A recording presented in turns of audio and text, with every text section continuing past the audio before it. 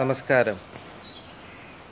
ഈ ഒരു വണ്ടി രണ്ടായിരത്തി പതിനെട്ടിലെ വെള്ളപ്പൊക്കത്തിൽ ഇതിന്റെ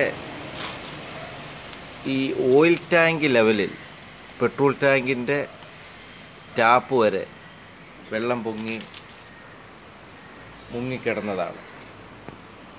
രണ്ടായിരത്തി പതിനെട്ട് കഴിഞ്ഞിട്ട് രണ്ടായിരത്തി ഇരുപത്തിരണ്ട് ഇന്നേ ദിവസമാണ് ഇതൊന്ന് കഴുകി എടുത്തത്. ചെയിൻ ബോക്സിന്റെ ഉള്ളു കംപ്ലീറ്റ് ചെയറായിരുന്നു ഞാൻ ഈ ചെയിൻ ബോക്സിന്റെ അകത്തെ പമ്പയാറ്റിലെ കട്ട പിടിച്ചിരുന്ന കുറച്ച് ചെയറാണ് കാണിക്കുന്നത്. രണ്ടായിരത്തി പതിനെട്ടിൽ ഉണ്ടായ വെള്ളപ്പൊക്കത്തിലുണ്ടായ ഒരു നഷ്ടമാണ് ഈ വണ്ടി മിക്കവാറും റെസ്റ്റോർ ചെയ്ത് കൊണ്ടുവച്ചിരുന്ന വണ്ടിയായിരുന്നു. ചെയിൻ ബോക്സിന്റെ ഏകദേശം ഈ ലെവൽ ചള്ളയായിരുന്നു. ഈ ലെവൽ ചള്ള കയറിയിരിക്കുമായിരുന്നു രണ്ടിന്റെ. ഇരുന്നിരുന്നിരുന്ന് ഇതൊക്കെ നല്ല ഒറിജിനൽ ആയതുകൊണ്ട് കുറച്ച് ഭാഗം മാത്രമേ നശിച്ചു പോയിട്ടുള്ളൂ. ഞാനിപ്പോൾ ഒന്ന് കഴുകിയതാണ്. ഇനി സൈലൻസറിന്റെ അകത്തെ പൈപ്പ് കണ്ടാൽ സൈലൻസറിന്റെ അകത്ത് ഈ കഴിഞ്ഞ നാല് വർഷം വെള്ളം കയറിയിരുന്ന പൈപ്പിന്റെ ഭാഗം ഇത്രയേ ഉള്ളൂ. ബാക്കി ഒടിഞ്ഞ് സൈലൻസറിൽ ഇരിപ്പുണ്ട്. നല്ലൊരു വണ്ടിയായിരുന്നു. ടയറൊക്കെ കംപ്ലീറ്റ് നശിച്ചു പോയി.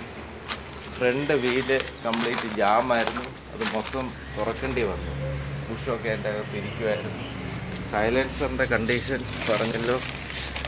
വെള്ളം ഇരുന്നിരുന്നിരുന്നിരുന്നിരുന്ന് ഇതിന്റെ അടിയിൽ ഈ ഭാഗം മാത്രം പൊത്തു വീണുപോയി.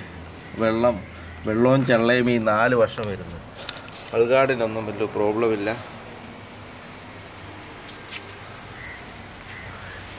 ഫിൽറ്റർ ബോക്സിന്റെ അകം മുഴുവനും ചള്ളയായിരുന്നു. ടൂൾ ബോക്സിന്റെ അകവും ചള്ള.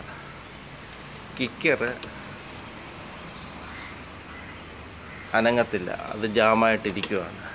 പിസ്റ്റൺ ഊരി നോക്കിയിട്ടും അനങ്ങുന്നില്ല. പ്രളയത്തിന്റെ ആഘാതം കൊണ്ട് മിക്കവാറും നശിച്ച ഒരു വണ്ടിയാണിത്. ഞാൻ ഈ വീഡിയോ ഇട്ടത് എന്തുമാ നമ്മൾ പ്രളയം മറന്നുപോയി രണ്ടായിരത്തി പതിനെട്ടിലെ മറക്കാൻ പാടില്ല. പലരുടെയും വീടിന്റെ വാതുക്കൽ പ്രളയത്തിന്റെ മാർക്കും അതുപോലെ ബോട്ടിന്റെ പടവും ഒക്കെ വെച്ചിട്ടുണ്ട്.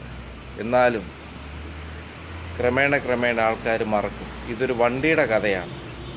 പിന്നെ വീടിന്റെ അകത്ത് കയറി നശിച്ചു പോയ ഫ്രിഡ്ജ് ഫാന് ഫർണിച്ചർ അപ്പം നിങ്ങൾക്ക് ആലോചിക്കാമെന്നേ ഉള്ളല്ലോ.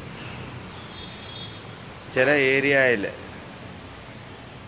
ആ സ്ഥലങ്ങളൊക്കെ ബഫ് ബഫർ സോണായിട്ട് പ്രഖ്യാപിക്കുകയും ചെയ്തു. ഇന്ന് അവിടെയൊക്കെ വീട് പണിയണമെങ്കിൽ നാനൂറ് സ്ക്വയർ ഫീറ്റ് മേളിലുള്ള വീട് പണിയാൻ ഗവൺമെന്റ് അനുവദിക്കുന്നില്ല. രണ്ടായിരത്തി പതിനെട്ടിലെ പ്രളയമാണിത്.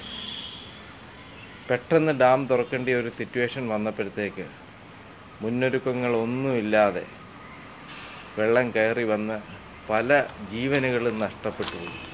ഒരു വീട്ടിൽ ജി ഒരു വീട്ടിലെ മൂന്ന് പേരാണ് മരിച്ചു പോയത്. ഒരു സ്ത്രീ അവരുടെ ഭർത്താവിനെ മക വയ്യാത്ത മകനെ അമ്മായിയമ്മയും ജനലിൽ പിടിച്ച് രാത്രി മുഴുവനും ഇരുന്നു. പിറ്റേ ദിവസം രാവിലെ ആയപ്പം ആ സ്ത്രീ ഒഴിച്ച് ബാക്കിയുള്ളവരെല്ലാവരും മരിച്ചു വീണു. കൊല്ലത്തു നിന്നൊക്കെ ബോട്ടുകൾ വന്നാണ് പല വീട്ടിൽ നിന്നും ആൾക്കാരെ റെസ്ക്യൂ ചെയ്തത്. ഇത് ഈ വീഡിയോ ഇട്ടത് അതിന്റെ ഓർമ്മയ്ക്കായിട്ട് രണ്ടായിരത്തി പതിനെട്ടിലെ ഓർമ്മയ്ക്കായിട്ടാണ്. നന്ദി നമസ്കാരം.